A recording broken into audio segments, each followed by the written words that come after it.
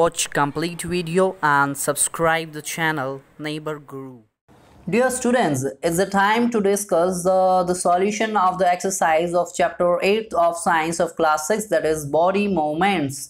शरीर की गतिविधियाँ। So let's begin the first question that is fill in the blanks. The a part uh, says that joints of the bones help in the dash of the body. तो जो bones यानी हड्डियों के जोड़ होते हैं वो हमारे शरीर के किस चीज़ में मदद करते हैं? वो हमारे शरीर के मूवमेंट्स uh, में मदद करते हैं। Okay now the B part that is combination of bones and cartilages forms the dash of the body जो कॉम्बिनेशन होता है किस चीज़ का? बोन्स एंड कार्टिलेजेस का। Okay okay? uh, जो बोन्स हैं हड्डियाँ हैं और कार्टिलेज हैं वो एक साथ मिलकर के क्या बनाते हैं? वो एक साथ मिलकर के स्केलेटन बनाते हैं, यानी कि जो ढांचा है या हम बोले तो कंकाल बनाते हैं okay combination of bones and cartilage forms the skeleton of the body now the C part the bones at the elbow are joint by a dash joint जो बोन्स हैं, यानी जो कोहनी पर हमारी जो बोन्स होती हैं, वो उसमें कौन सा जॉइंट होता है? उसमें हिंग जॉइंट होता है।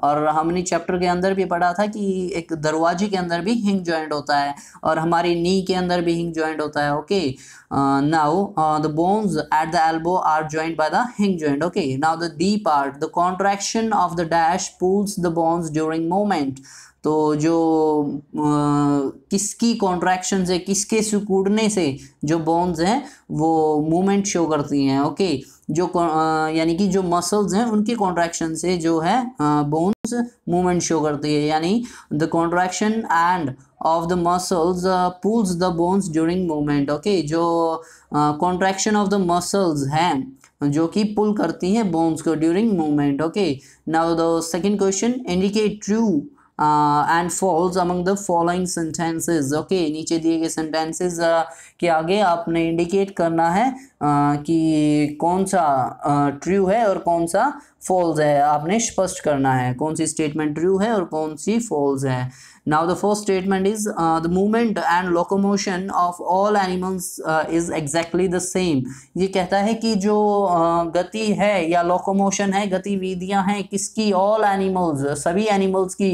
क्या वो बिल्कुल एग्जैक्टली exactly सेम है? नो no, हमने पढ़ा चैप्टर के अंदर कि कोई एनिमल्स हैं वो फ्लाई करता है और कोई बर्ड फ्लाई करता है। अच्छा ये एनिमल्स की पूछ रहा है तो हम देख सकते हैं कि कोई एनिमल्स जो है वो रेंग कर चलता है कोई एनिमल्स जो है वो दौड़ता है कोई एनिमल्स सिर्फ़ वॉकिंग करता है ओके तो सभी की मोमेंट्स जो है एनिमल्स की वो अलग अलग हैं।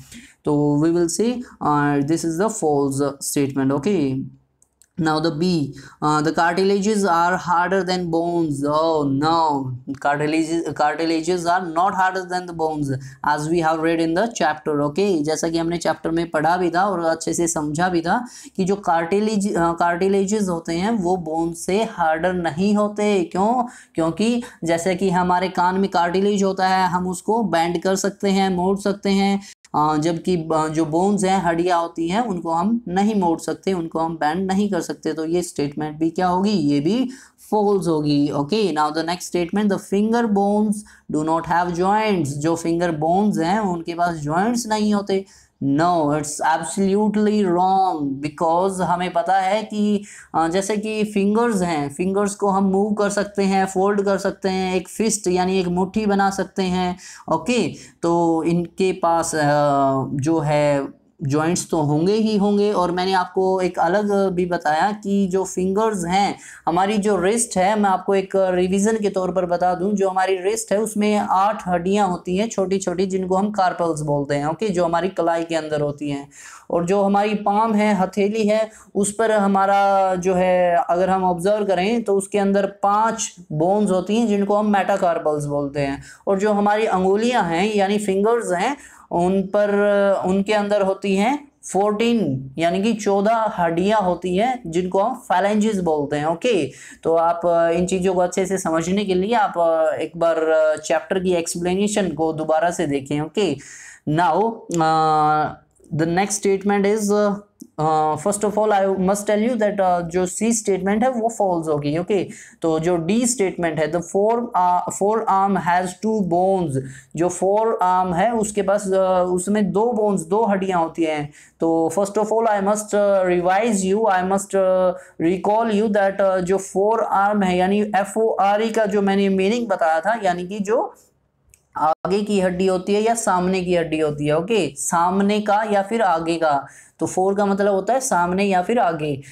तो जो आगे की बाजू होती है, यानी एल्बो से रेस्ट तक की जो बाजू होती है, उसमें दो बोन्स होती हैं। ऑफ़ कोर्स दो बोन्स होती हैं तो ये स्टेटमेंट ट्रू होगी okay now the E part cockroaches have an outer skeleton जो कॉकरोचेज हैं, उन, उनके पास एक आउटर स्केलेटन होता है। क्या ये स्टेटमेंट सही है? ऑफ़ कोर्स ये स्टेटमेंट सही है, क्योंकि हमने चैप्टर के अंदर पढ़ा है ओके? तो मैं आपको रिवाइज करवा देता हूँ second question that the first three statement A B C are false and D and E part of the second question are true okay now let's move on to the th uh, third question that is match the items in the column first with the one or more items of the column second क्या कहना चाहता है कि आपको दो column दिए गए हैं ओके okay? और कॉलम फ़र्स्ट में और कॉलम सेकंड में कुछ आपको आइटम्स दिए गए हैं ओके कॉलम फ़र्स्ट के आइटम्स को आपने एक या एक से ज़्यादा आइटम्स जो कि कॉलम में सेकंड uh, में हैं, उन उनसे अटैच करना है, उनसे मैच करना है, उनसे मिलान करना है ओके तो वो एक कॉलम ए का एक ऑप्शन के लिए एक से ज़्यादा ऑप्शन हो सकते हैं कॉलम बी के। जैसे अपर जो है अपर जो हमें पता है कि जो ऊपर का सिरा होता है हमारा, ठीक है?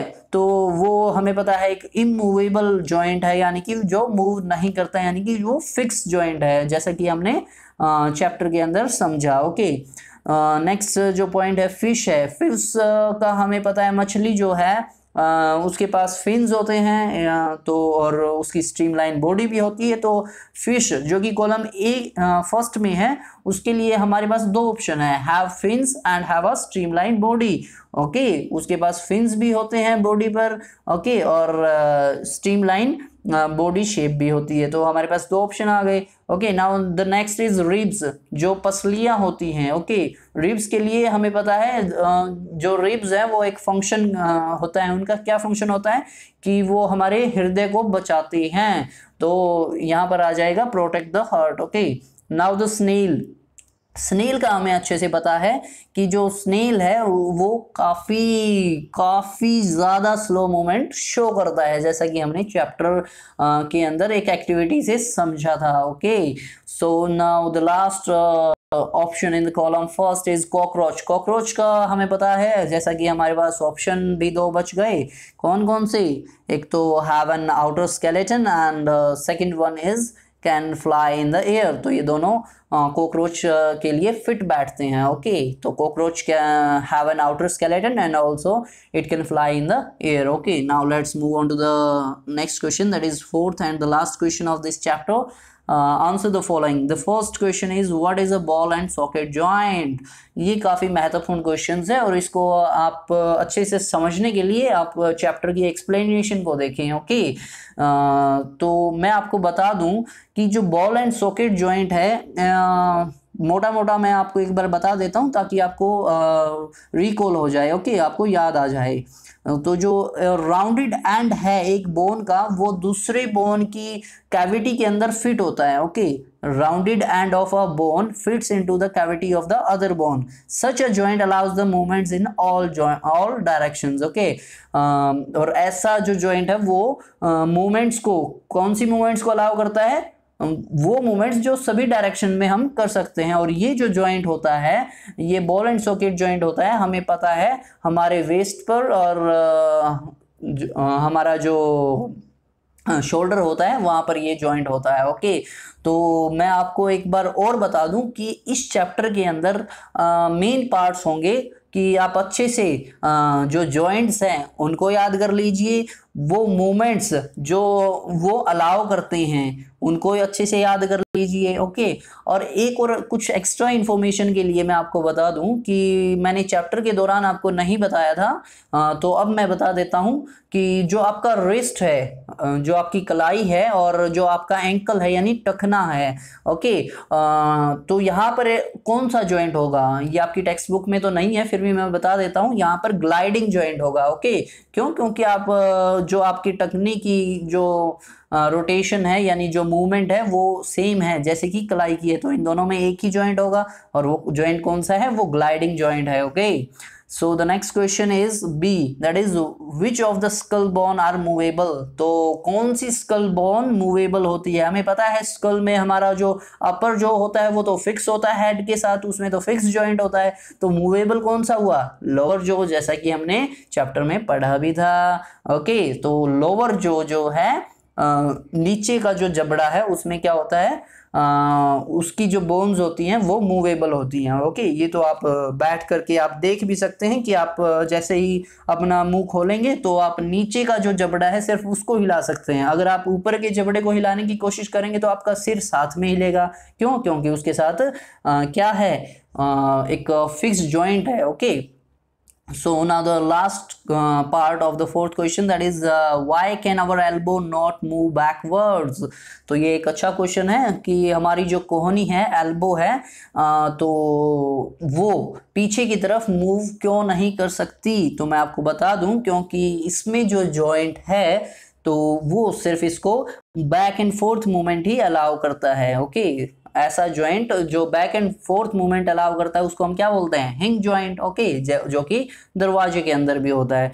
तो मैं आपको एक बार फिर से बता दूँ कि ज्वाइंट्स को याद करना मसल्स के जो फ़ंक्शन होता है, उसको याद करना और जो इस चैप्टर में हमने पढ़ा था कि जो डिफरेंट डिफरेंट एनिमल्स हैं, उनकी मूवमेंट्स को याद करना काफ़ी ज़्यादा महत्वपूर्ण है ओके तो ये हमारे क्वेश्चन के आंसर्स रहे. So thank you for watching